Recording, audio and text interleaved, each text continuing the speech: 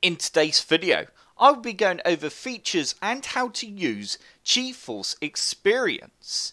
If you don't know what GeForce Experience is, this is a fantastic program that you can install alongside of your Nvidia drivers. It allows you to do all sorts of things this could be optimizing your games, taking screenshots within a game, even recording your video games as well. And you don't even notice any performance issues while recording using the built-in recorder from GeForce Experience. Before we get started, don't forget to like this video if you did enjoy it and it did help. And also we have almost hit 40,000 subscribers and that is thanks to all of you if we could hit 50,000 subscribers by the end of summer, that would be absolutely amazing. So hit that subscribe button if you want to see more videos like this. So the first thing you're going to notice when you boot up GeForce Experience is the homepage. And you may notice it has detected all the games that are installed on your system. As you can see, I do have actually a lot of games installed on this system. And the very first game I'm going to use for the example is Fortnite. If I hover over Fortnite, you will then see details. You can then go ahead and click on details and you will now be presented with your current in-game settings. And also you will see a optimal settings. As you can see on the left hand side, I currently have the 3D resolution set at 44 and GeForce Experience has detected I should be running it at 100. I also love GeForce Experience how it actually explains what each setting does. For example, 3D resolution, downscaling that reduces the internal rendering resolution to increase performance. I'm not going to read it all because I don't want to bore you, but yeah, no matter what you hover over, you can select it and then it will tell you what it does and how it can improve your game or make your game run worse. If you scroll down, there are lots of different settings as you can see. We can go ahead and click on optimize. This is now selected the settings that GeForce Experience recommends that my system can use and will run perfectly fine on. We can also click on this little spanner and you will then be presented with a window that looks like this. You can then choose custom settings. For example, I can change the resolution. I can also change the display mode. We can also tone this down, the performance, or we can tone it up to quality, or just go in the middle, and then press apply.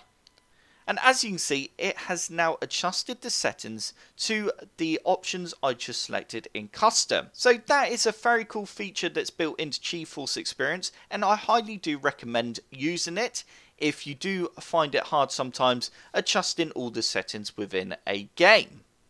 If we then go back and we can now go ahead and click on drivers, you can actually download and install the latest Nvidia drivers through the GeForce experience. You can click on check for updates if it does say you have the latest update but you just want to double check. If it does detect a new driver update then it will pop up within this window. Another few features you can adjust in GeForce Experience is clicking on this symbol here, which is the in-game overlay. You will then see a window or a screen that looks like this. This will pop up over your games. The key to open this up is Alt and Z, which as you can see I press the button there and it displays it. You can press that key within game and it will display this window. You can then have instant replay turned on if you want. And what instant replay does is it basically allows you to record the last 30 seconds or 20 seconds, whatever option you choose of gameplay. So say I'm within a game and I do something really cool, I do a backflip in a car or something traumatic like that, I can then go ahead and quickly go instant replay and it will then record those last 30 seconds. You can adjust the settings by simply clicking on settings and you actually need to turn off instant replay to adjust the settings. There we go, settings.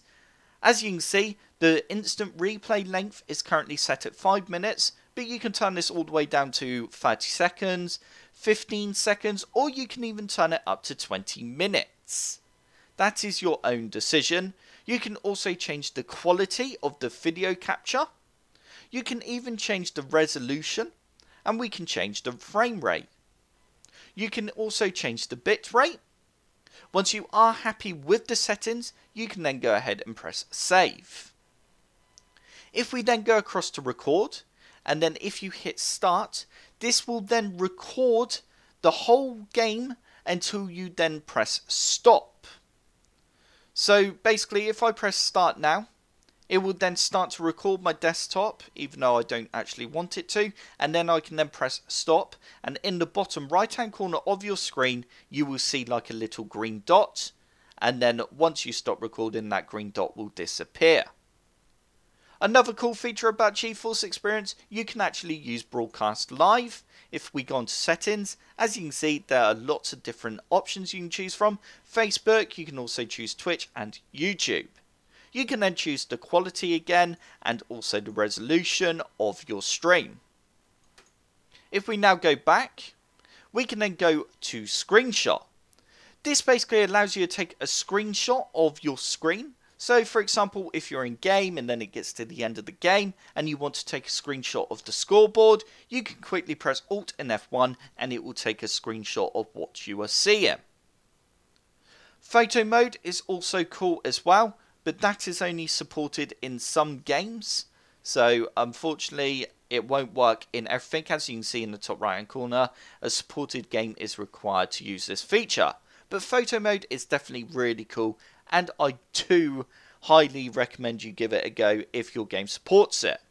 You also have Game Filter, which basically just allows you to adjust the in-game of how it looks and stuff. You can add some pretty cool filters. If we now look on the right hand side here, you can mute your microphone if you want, or you can change it to push to talk. It depends if you want your voice to be in your video recordings. Another cool thing when it comes to the audio, if you click on settings, you can actually change it from a single track to separate both tracks. So you can record your microphone on a different track to your game sounds. If we then go back again, we have the settings cog. And as you can see, you have lots of different settings in here as well. We can change the layout of GeForce Experience. There's that green dot that I was talking about, the status indicator.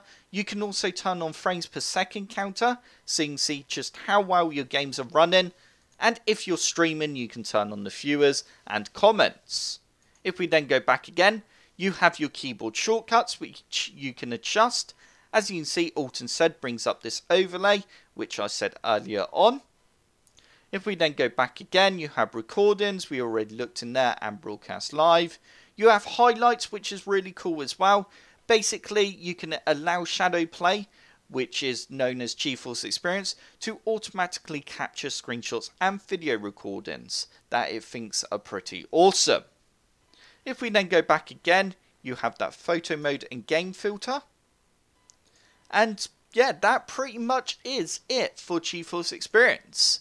So basically, if you have not used GeForce Experience yet, I do recommend give it a go if your Nvidia graphics card supports it. I highly do recommend it. It's a fantastic program.